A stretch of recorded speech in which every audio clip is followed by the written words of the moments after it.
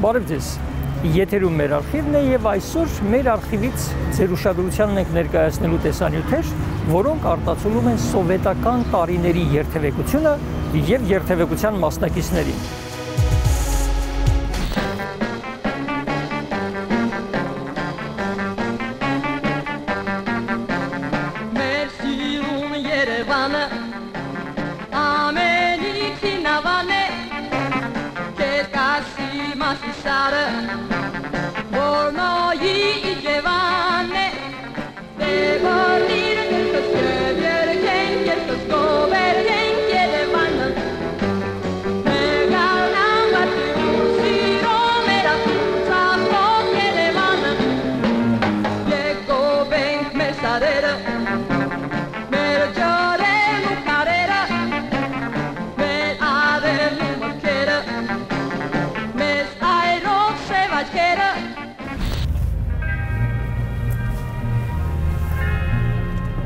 Սովետական Հայաստանի առաջի վարորդներից մեկը իմ հորեղբայրն է եղել։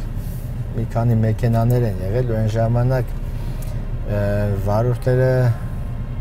քիչ ուրիշ մարդիկ են ընդհանուր առմամբ զարմացած բոլորը ոնց հնարավոր է երկաթի ծանր, հա, ինչ-որ բանը հարգված, շատ հարգված։ Հիշում եմ, որ այդ ժամանակվա վարորդների մոտ, ովքեր ուզում էին վարորդ հետագայում աշխատեն, հա, որպես Ուրեմն մինչև վարորդական վկայականների ստանալը նրանք պարտադիր ինչ որ մի ու իրանց լեզվով ասած շոֆերի մոտ, վարորդի մոտ պետքա ու իրանց էլի լեզվով ասեմ ուչենիկ լինեին։ Աշակերտ։ Աշակերտ լինեին, վարորդի աշակերտ։ Նրանք երբ որ արդեն այդ պետքա ամեն ինչ իմանային, էլի խոսքը սովորական գործողությունների մասին, մեքենայի, ասենք խոսքի անիմների ճնշումը ստուգել, յուղի մակարդակի ստուգում, հովացման համակարգը հովացման համակարգի ստուգում, վերջի վերջո անվադող փոխել նմանատիպ ինչ որ որոշ բաներ ոչ թե շարժիչ տեղում վերանորոգել եւ այլն։ Դրանից հետո, երբ որ նմանատիպ գործողություններ նրանք ի վիճակի էին կատարելու, ինչեւ վարորդական ստանալը նրանց ուստա վարորդը, ուստա բառը հենց այդտեղ ասում են էլի, ուստի մոտ, հա, մինչև իր համաձայնությունը չտար այդ տվյալ աշակերտները, վարորդ բանի վարորդերի աշակերտները, հա, իրանք վարորդական վկայական չէին ստանում։ Խորհրդային տարիներին ինչ տեխնիկա ուներ, ինչ մեքենաներ ուներ մեր ավտոտեսչությունը։ Ուրեմն խորհրդային տարիների մեր ավտոտեսչության շարժակազմը մեքենաների, հա, դրանք Ural մոտոցիկլներ էին։ Ահա դեղին գույնի։ Եվ դեղին եւ սև ընդ երկուականի եւ այդ երեքականի, հա, մոտոցիկլներն էին։ Երեքականիները ասենք դասակների տրանսպորտային միջոցներն էր, իսկ երկուականի մոտոցիկլները դա հատուկ դասակի, հա, որոնցով կատարվում էր էսկորտ ուղեկցում եւ ավտոմոբիլներ, Ժիգուլիներ եւ գազ 24-ներ։ 73 թվականին Ես որ աշխատանքի անցա, այն ժամանակ դասակում կար 30 մարդ, որի 4-ը սպա էին, մնացածը սերժանտական կազմ էր։ Սպաները աշխատում էին Ժիգուլի կոչ 21 62111 մեքենաներով էի, իսկ սերժանտական կազմը ուրալ մագնիշի մոտոցիկլետներով։ Ուրալները ծանր ուրալներ էին, լավ ուրալներ էին, վատ ուրալ չէին, լավ մոտոցիկլներ, բայց դե դա մենակ ամառվա համար էր դա։ Դե վտանգավոր էր շատ ու շատ դեպքեր եղավ, վթարներ եղավ մեր տեսուչները վաղակի վնասվեցին։ Խորհրդային ժամանակաշրջանի այդ տվյալ տրանսպորտային միջոցները կահավորված էին ռադիո կապով վիոլա տեսակի, հա, եւ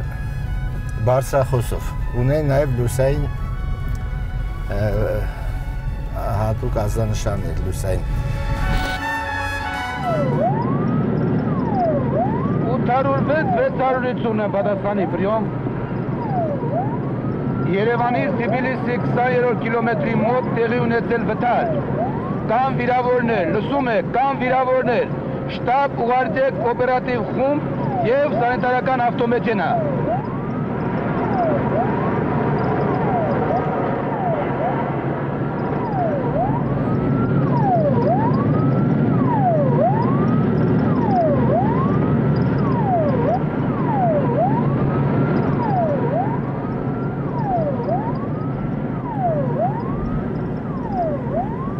Հայաստանում երթևեկությունը որքանով կանոնավոր էր, մեր հետիոտները, մեր վարորդները որքանով կարգապահ էին սովետական տարիներին։ Եթե փորձենք համեմատել նույնիսկ միության մյուս հանրապետությունների հետ կամ Մոսկվայի հետ հայերը սիրում են այդպես համատել։ Մի քիչ կհիշեք ինչպես էին։ Ես բախտ ավիճակվել նախկինում, հա, գտնվել եւ Մոսկվա քաղաքում եւ Լենինգրադում, հա, Սանկտ Պետերբուրգում, տարբեր Կիև, Մինսկ, Խարկով տարբեր մերձբալթյան երկրների ընդհանուր առմամբ նաև մայրաքաղաքներում Վիլնյուս, Ռիգա, Տալին, հա։ Ուրեմն այն ժամանակներից էլ տարբերություն կար այնտեղի եւ մեր Երևանյան, հա, երթևեկության մեջ Հայաստանյան, Երևանյան տարբերություն կար այսինքն։ Ուրեմն հետիոտները ավելի կարգապահ են, քան մեր մոտ։ Նույնը նաև այսօրվա դրությամբ կարելի ասել Ուրեմն բացարձակապես կարելի ասել, որ այդ իմ նշված քաղաքներում հետիոտները յուրաքանչյուր տեղից իրենց թույլ չէին տալիս անցնելու երթևեկելի մասը հատելու։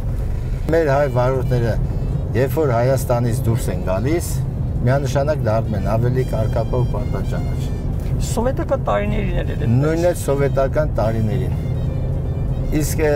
ինչ վերաբերվում է Երևանում, հա, Հայաստանի հանրապետության տարածքում մեքենա վարելուն չեմ չես հասկանում ինչու իրանց թույլ են տալիս ինչ որ որոշ ճանապարհային երթևեկության կանոնների խախտումներ կատարելու։ Երևի թե զանգ ընկերոջը տարբերակից օգտվելու երևի թե հնարավորություն ունեն։ Դրսում այդ հնարավորությունը չունեն, երևի այդ այդ կերպ էլ մտածելով դեմ փորձում են խախտումներ չկատարել երթևեկության։ Ուղղակի հայերը կարգ ու կանոնի դժվար են ենթարկվում։ Մենք մեր մոտ մի քիչ կարգ ու կանոնի դժվար են ենթարկվում։ Դրսում շատ շուտ են ենթարկվում ու օրենքը տվյալ երկրների մենք շուտ ենք սկսում հարգել։ Այսինքն եթե մենք կարգը այսպես է, պիտի այսպես անես, ինքը սկսում է մտածել, բայց ինչի է կարգը այդպես։ Ավելի ճիշտ կլինի, որ այդպես չլինի։ Որ սկսեցինք այդ ամրագոտիների հա այդ խստացումը,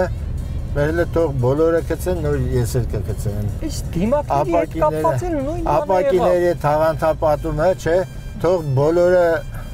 փոկեն այդ թաղանթները նոր ես կփոկեն։ Ոչ մեկ չի ուզում լինի առաջինը, երկրորդը, 10-ը։ Կամ եթե կարգը դա է, հա, ուրեմն ենթարկվում է։ Բոլորը փորձում են լինել վերջինը, երբ որ բոլորը թաղանթները կփոկեն, ես նոր կփոկեմ, երբ որ բոլորը ամրագոտի ամրակապված լինեն, նոր ես կամրակապեմ ու ձեր ասած այսօրվա դրությամբ մենը թող բոլորը դիմակները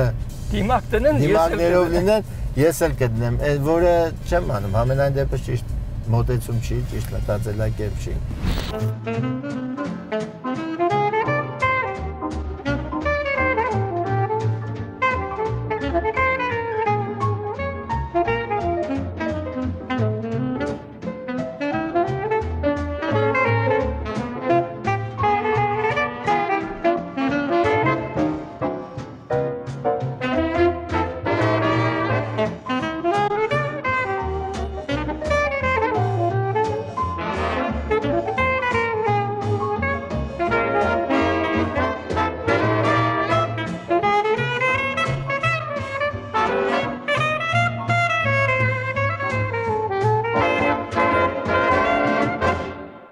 այն ժամանակ, երբ որ կանգնացվել մենք էինք, վարորդը պարտավոր էր իջնել, գնալ մոտը, ներկայանալ, խոսալ, այսօրվա վիճակով օրինակ ես ինձ շատ լավ եմ զգում, երբ որ օրենքը կա, ես պետք է նայես դուրս չեմ գալիս։ Նստում եմ մեքենայի մեջ, սպասում եմ, միջև վարորդը ինձ կմոտենա։ Օրինակ ֆիլմերում էլ ենք տեսել, նույնիսկ ֆիլմում պահանջում է, որ ձերքերը դնես ղեկի վրա, սպասես, միջև ինքը ասինքն ձերքերը տեսանելի վիճակում լինի, ես դա ընդունում եմ։ Նույնիսկ հետ էր շուռ էր գա, տեսնում եմ մեքենա կանեց, Դե տեսը շուր է գալիս մեջքով, որպես չի տամ, ինքը սպասում է մինչև վարորդը ներիս փաստաթով գա հասնի իր մոտ։ Բայց ու եթե հանգած վարորդը նստեր գնար, հետևից գնում էր թե չես ընդարգվել։ Նման հարցեր էլ էլի եւ վիճաբանության առիթներ էր դառնում։ Դե իսկապես եթե գրագետ մարդիկ մարդիկ են, որ երթևության կանոնները լավ գիտեին, նրանք նստում գնում էին, հետո ասում է գիտե ինչ կա։ Կանել եմ, չես մոտեցել, ես գնացել եմ, դե հիմա փոցին վրա արձանագրվի, ես ձեր վրա կբողոքեմ ու մեկ-մեկ լինում է տեսնել նման մարդկանց կլաուզիկ են անվանում, բայց երբ որ կապ են տա, դա արդեն վիճաբանության ժամանակ արդեն ճար չկա, պետքա սպային կանչեին, որ հացը կարգավոր, երբ որ գալիս լսում էի, Դե ես որ պատրաստված սպայի մի կերպ ճանապարհում է քաղաքացուն գնում, հետո ջրանում է տեսի չու, ասում չի կարելի։ Դուս ես բաներ մի արա։ Դեռ դպրոցական տարիքից երեխաներին փորձում էին սովորեցնել երթևեկության կանոնները դպրոցներում, հատուկ ֆիլմեր էին նկարվում։ Հիշում եք կար այս տեսակ Հիշում եմ, կար, նմանատիպ բաներ կային, անգամ խորհրդային տարիներին 10-րդ դասարանում ճանապարհային երթևեկության կանոնների եւ տեսական եւ գործնական գիտելիքներ էին սովորեցնում 10-րդ դասարանցիներին եւ անգամ տրվում էր 10-րդ դասարանցիներ բնականաբար եւ տեսական եւ գործնական գիտելիքների հանձնելուց հետո նորմալ հա արդյունքի դեպքում դրական արդյունքի դեպքում անգամ 18 տարեկան չլրացած հա աշակերտներին տրվում էր վարորդական վկայական առաջինից 6-րդ դասարան եթե չեմ սխալվում դասկեկի ժամից 1 ժամ հատկացվում էր անվտանգ երթևեկության կանոնների ուսուցմանը։ Ունեինք գրադարանում գրքեր կար, ժամկետ անցեր, բայց բոլոր դեպքում նշանները բան ամեն ինչ նորմալ էր։ Դրանք էի սովորեցնում են, հետո դրանի հետ կապված չէին գնահատում երեխաները, ուղղակի դրա մասին տեղեկություն են տալիս, նույնիսկ դեպքեր է լինում փողոցում նայում էի մի երկու անգամ ականատեսը երեխան ծնողի ձեռքից բռնում էր, ասում էր կարելի դուսաչ մի քայլի երեխան ծնողին էր դիտողություն անում, դե զգացում եք, որ աշխատող նյութ էր։ Արդեն 70-ական թվականներից է ստեղծվել է երթևեկության պատանի տեսուչների ջոկատներ։ Դա բոլոր դպրոցները գրեթե ունեին։ Անցկացնում էին այդպիսի ջոկատների մրցույթներ։ Դե շրջաններում մրցության հաղթողները գալիս էին մայրաքաղաք, սովորեցնում էին ճանապարհային երթևեկության կանոնները, իրենք էլ հետևում էին իրանց համադասարանցիներին, համադպրոցականներին, որովհետեւ ճանապարհային երթևեկության կանոնները չխախտեն։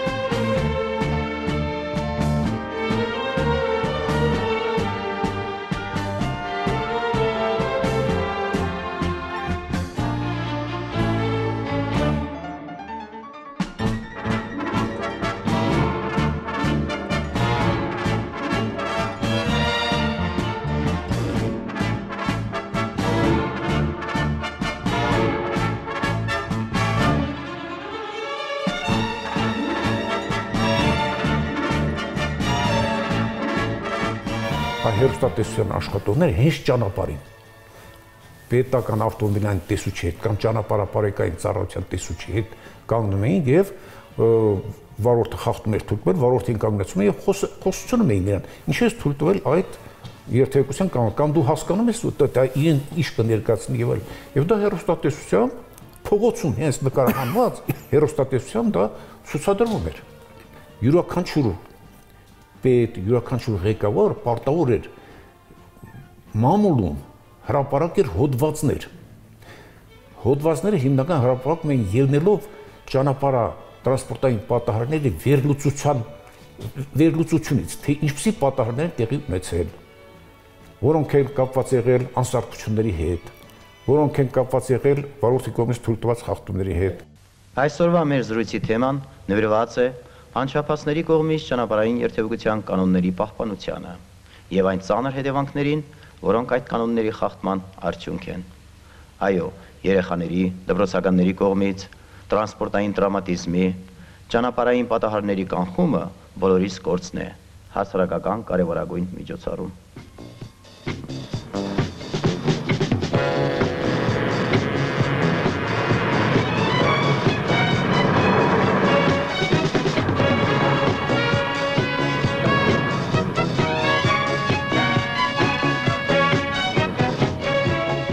Եվ հիշում եմ նաև հատուկ ֆիլմեր էին նկարվում, հերոստատեսությամբ էլ հաղորդաշարեր կային եւ ֆիլմեր հատուկ այս երթևեկության կանոնների եւ ուսումնական ֆիլմեր էին սրանք համատեղ արվում էին։ Հա, համատեղ առհասարակ մեծ ուշադրություն էր դարձել։ Եվ ես հիշում եմ անգամ անձամբ ես էլ մասնակցել եմ նմանատիպ ֆիլմերին տեսնելուն, հա, նորքի զանգվածում, նոր-նորքի զանգվածում կինոթատրոն կար նորք։ Ես հիշում եմ, որ այնտեղ, ասենք, այդ վարորդներին, որոնք երթևեկության մեջ որոշ խախտումներ էին թույլ տալիս, կատարում, վարորդականները նաև վերցնում էին, բացի այդ վերցնելուց, միան նաև ուղարկում էին այդ տվյալ կինոթատրոնում ֆիլմ դիտելու, ֆիլմ։ Որպես պատիժ պետքա գնային այդ կինոն նայեին, այնտեղ պարոն Բարսամյանը ասաց այդ վտանգավոր տեղերը, վթարները, կոպիտ խախտումներն լրը նկարահանված կինոն բացատրում էր, հետո մեր լավ մասնագետները երթեւության կանոնները բացատրում էին, պլյուս վարորդները իրանք էին հարց տալիս, հարցերին պատասխանում էին, նոր դրանից հետո վարորդական իրավունքները հետ էին վերադարձնում։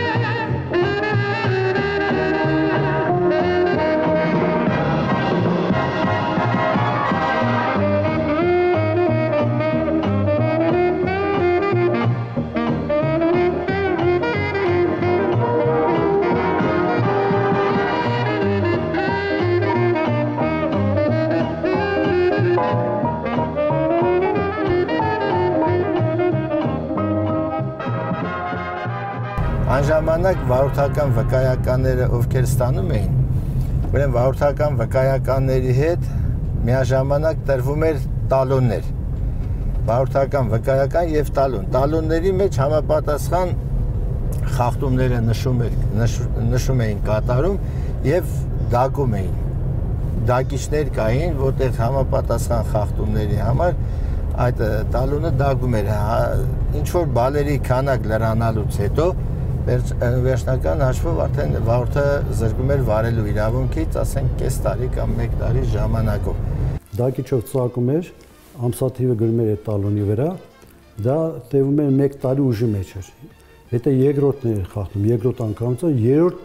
երրորդի դեպքում արդեն տալոնը չէր ծագում։ Վարորդական ենքը վերցում էր, արձանագրություն էր կազում, ուղարկում էին կոչում էին նիստ։ Շաբաթը մեկ անգամ ճանապարհին ասենք այն ժամանակ պետատվության ղեկավարություն կամ տեղականներից մեկը նիստ էր անցկացնում, քննում էր այդ խախտումը, այնտեղ նախատեսված է կամ տկուգան կամ զրկում։ Դա ինքը նայում էր վարորդը, եթե զղջացել է, ինչ-որ միտեղ սխալվել է, նայում էր, արդեն պետք կամ տեղակալի հայացողության։ Իսկ սուման այդ փողը տվել ցանոթի, որ ինձ քնության չանցնեն, որովհետև 3 հատ պարավայից մեջ ցակ կա։ Չեմ ասում, որ ես 100%-ով են, բայց մեծ մասը խարդախ վիճակով են ինձ ակտը գրել կամ տալոնով ցակ է, տալոնը ցակ է։ Այդպես վարիանտներ է եղել։ Խմատությունը ինչպես է ստուգում։ Խմատությունը ստուգվում է ինչպես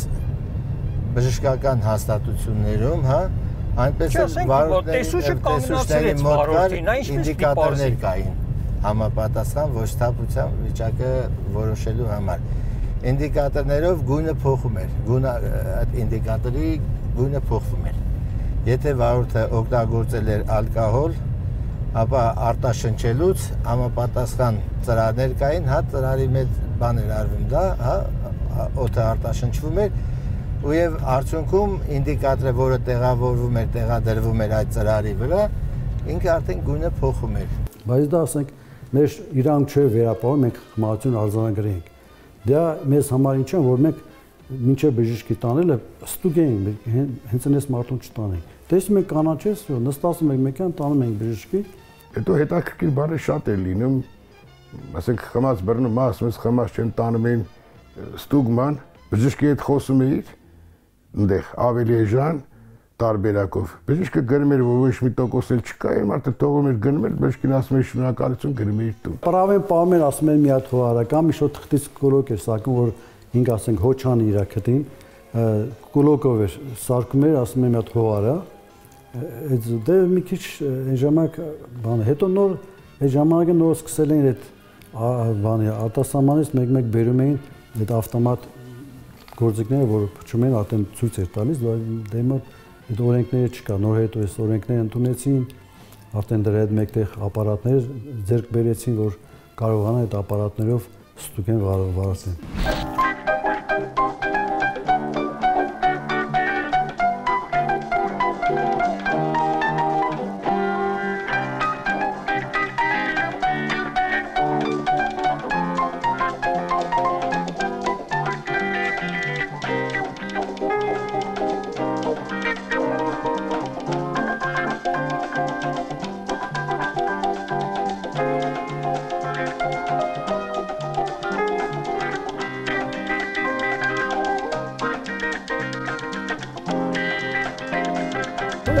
տարիներին ավտոտեսուչները ինչ որտեղ կանգնում էին իրենց այն հանրահայտ փայտիկով, այսինքն չէին շրջում։ Հիշում եք այ ուզում որ այ ինչպես էր կարգ, այդպես կանգնում էին, որտեղ էին կանգնում։ Այդ ժամանակաշրջանում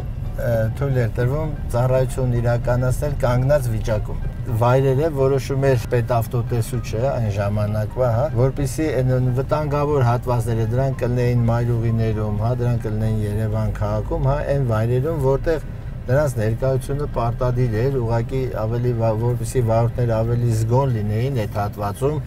ու չգերազանցեին եւ արագությունը եւ ասենք որպես խաշմերուկներ, հա, ավելի ուշադիր լինեին այդ տվյալ խաշմերուկներում։ Ավելի շատ նրանք ռեստորանների ու ճաշարանների, որտեղ որ սննդի օբյեկտներ կար, նրանք գիտեին որտեղ ինչ այն չի, այստեղ կանգնում էին, որ խմած մարդիկ բռնան էլի։ Սպեկտրը խիա թաքնված կաղնան Չէ, դու ինձ ասել, խիա թաքնված կաղնում։ Որ փող շինի։ Բայց չէ որ որ դու երևացող տեղ կաղնի, ես անկարգություն եմ անում եւ վախենամ քեզանից ճիշտը քշեմ։ Ոչ թե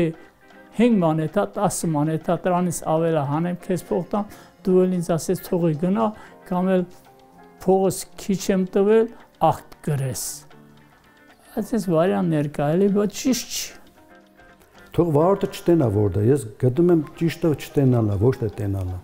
մեր մեզ ղեկավարությունը այն ժամանակ կոմունիստները ասում են բան արեք պրոֆիլիկ հատիկ աշխատանք կատարեք որ վարորդը տենա դե վարորդը տեսա մայակ աշխատումը հանգիստ գալիս իրանց ասումը սկսում արագ գնալ ոչ ասի պետքա վարորդը ընդհանրապես միշտ հանգարձակի գա խախտում արես պետքա չիմանա որտեղից իրան կանացրեց Իմ մարդ որ հանելա փողը տվելա նորից քշելա այնտեղ ինչ որ ինքը պիտի դանդաղ քշի, էլ ինքը նույն վիճակով պիտի քշի, միլիցա կանացնի էլի փողը կտա, չի կանացնի զատո կնա։ Բայց սովետական տարիներին բողոքում էին, ասում էին, որ ոչինչ չեն կամ հենց այնպես կանգնեցնում է տուգանք վերցնելու համար, փող վերցնելու համար, հենց այնպես։ Ես այդ ժամանակ ճիշտ է, այդտեղ ծառայությունում չեմ ծառայել, չեմ աշխատել, բայց որպես վարորդ ես գտնվել եմ նման երթևեկ, նու երթևեկության մասնակից եմ եղել որպես մարոք։ Բայց ես այսօր այդ փորձում եմ հիշել, ես երբևիցե չեմ նեղվել այդ տվյալ ժամանակահատվածում նմանատիպ ծառայություն կատարող պետավտոտեսուչներից։ Օրինակ հասարակ բան ամրակապը ամրա ապահովության գոտին, անվտանգության գոտին կապած գնում ես, քեզ կանգնացնում է, ասում է, ինձ տեսար նոր գցեցիր։ Դե արի ապացուցի, որ դու գցած ես գնացի, չէ՞ կարող ապացուցեի դրան։ Այն ժամանակ արագաչափ չկար մոտը, ասում էր դու ստեղ 40-ա դու 50-ով ես եկել կամ 60-ով ես եկել, չէր կարում ապացուցեիր։ Ես որ Սարատովից եկա աշխատանքի, ճիշտ նա դե պատրաստված աֆիցեր եմ գալիս, կանգնում եմ տեսուչների մոտ, տեսնում ասես իր հետ կանացնում են, նայում եմ ասում լավ։ Ես այդքան սովորել եմ, բայց այս խախտումը չեմ կարող հասկանալ, ինչ խախտում արես, որ կանացրես։ Հետո ասում եմ, ինչ խախտում արես, որ կանացրես, ասում կարող եմ մի բան լավ չեմ սովորել։ Դե, ասում եմ, դե կանացրել եմ, ասում եմ, չէ, մի հատ ինձ բացատրի, ես իմանամ։ Հետո զգացի, որ տեսուչը չի կարող բացատրի, որովհետև հենց այնպես կանացել։ Հետո տեսուչին թողեցի, մի հատ կանացրեցին, գնացի վարատի մոտեցա, հաստատուտը ձերքը մոտեցա, տեսնում մեջն է գումարա դրված։ Ասում եմ, ինչ գումարա։ Դե ասում եմ, ես իմ։ Ասում ինչ համար ես կանացել, չգիտեմ։ Ահա դու չգիտես քեզ ինչ համար կանացել։ Ոչ, չգիտեմ։ Ասի սխալ է։ Դու քո իրանքներն իմացի, ոչ չկանացի հենց այնտեղ։ Որ մեքենա ունեի, մի քանի անգամ ինձ կանգնացրել է, բնականա ակտ գրեք, ասում էի ոչ։ Դե ուրեմն տալիս էինք, գնում էինք ակտ գրենք, վախացնում էին։ Ժամանակ պետական մեքենանը 1 ռուբլի, 2 ռուբլի են տալիս, սեփականները 3 ռուբլի դնում ենք տեղ պասպորտի մեջ տալիս էինք։ Եթե 2 օքի են, ասում են քիչ է 2 օքի ենք, մի բան էլ ավելացրու դեզ բան, նորմալ հարաբերություններ, բան երևի մենք որ տալիս ենք մեզ ձեռնտու հետ, իրանց էլ էր ձեռնտու որ վերցնում են, այդպես էր։ Կային նույնիսկ ցեխավիկներ հատուկ։ Մենք նույնիսկ գալիս կանոն էին այն ժամանակ եթե ասենք մեկը 3-4-5 ռուբլի տալիս, ինքը 10 ռուբլի տալիս է, որ ինքը իմանա ինքը ցեխավիկ է։ Ինքը ցեխավիկ է։ Նույնիսկ ամեն օրը եւ դեպքեր էլ էին, որ տեսուչները գիտեին, որ այս ցեխավիկը ամեն օր խմում է, երբ կանգնացնում ինքը իր 25 ռուբլին տալիս գնում էր։ Երբեմն առանց կանգնեցնելու։ Առանց կանգնացնելու։ Իրանք են գրծ։ Գալիս կանգնացնում էին։ Այդ հարաբերությունը, ասենք, այդ հարաբերությունը եղել է դեպք, որ Օրինակ էլ ասա Տարեկ ջան, այսօր ասեն չկա հաջողություն գնա, անցել է ասենք 10-20 օր, մեկ էլ այդ մարդը եկել է, ասել արի, հիշում ես ես այն օրը չեմ մոտը, բայց հիմա արվերց։ Նման նման վերաբերմունք էլ ա եղել։ Իսկ եթե ընդհանուր այդպես նայենք, ենթադրենք 70-80-ականներին ու այսօր ավելի կարգապահ դարձել են, թե բան չի փոխվում։ Չէ, այսօրվա դրությամբ ես ասեմ, մեր մոտ երթևեկությունը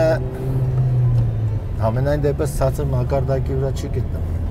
Կարգապահ վարորդները ավելի շատ են, քան անկարգապահները։ Խախտում չկատարողներն ավելի շատ են, քան խախտում կատարողները։ Ինչ վերաբերում է ընդհանուր առմամբ մեր երթևեկությանը, Երևանում ու Հայաստանում մասնավորապես Երևանում Երևի թե յուրաքանչյուրը պետքա տարբերությունը նկատած լինի, զգացած լինի, որ իսկապես տարբերություն կա նախկինի համեմատ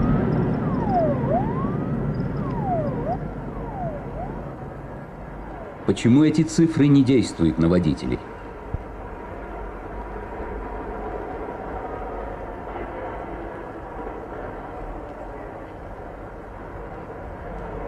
Почему они не задумываются над тем, с какими тяжелыми последствиями связаны нарушения правил дорожного движения?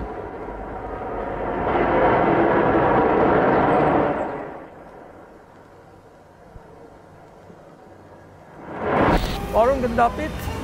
տվեք շնորհակալություն ասել հետաքրքիր ճամփորդության համար եւ Երևանով եւ ժամանակի մեջ։ Շնորհակալություն, ինչ ասեմ, ես էլ իմ հերթին ցանկանում եմ բոլոր երթևեկության մասնակիցներին, որպեսզի որպես երթևեկության մասնակիցներ պահպանեն երթևեկության կանոնները եւ լինեն անվտանգ ժամանակները անցնում են, ժամանակները ինչ որ կատարում է արցանագրվում են եւ արցանագրվածները մեր արխիվներում մնում են եւ ժամանակ առ ժամանակ մենք դրանք ցուցադրում ենք եւ այսօրվա մեր տեսանկարահանածը նույնպես հայտնվելու է մեր արխիվում։ Եվ դու տվեք մեր հերոստայտողներին էլ ասենք այսպեսին է այսօրվա մեր արխիվը կտեսնվենք մյուս շաբաթ։